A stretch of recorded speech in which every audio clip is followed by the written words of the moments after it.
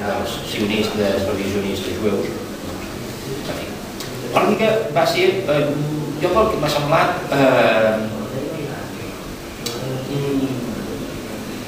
mica se'n va escapar una mica de les mans de Batista eh, i li feia més mal que bé el seu projecte de palestra, li feia més mal que bé.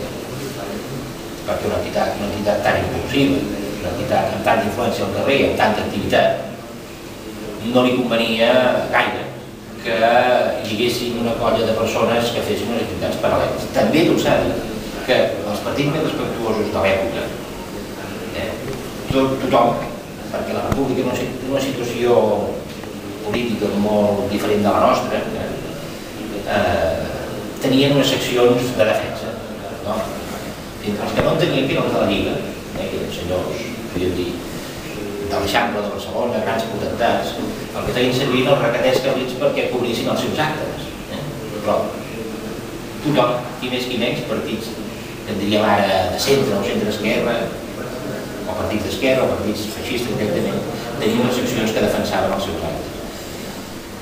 Palestra no es va, jo penso que no li va interessar massa anar per aquesta via. Sí que li interessava la via de formar els seus joves en totes les circumstàncies de la vida. Eh? En totes les circumstàncies de la vida. A l'empresa, a la càtedra, a la milícia, al banc.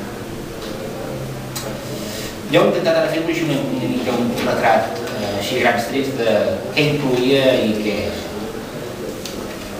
què feia Palestra. I ara m'interessaria una miqueta, eh, com que estem eh, en una ciutat tan levítica, com si diguéssim, encarnar els conceptes en les persones. O sigui, qui eren els joves de Palestra? A mi que fa molta gràcia és que quan vaig veure qui eren els joves de Palestra, vaig trobar una foto que em va impactar molt. No? Eh,